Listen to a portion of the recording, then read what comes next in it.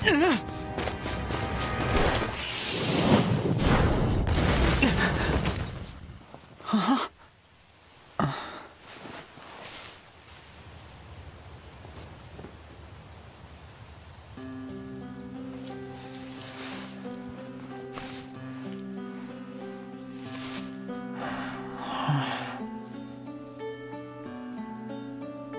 There's no need to be afraid.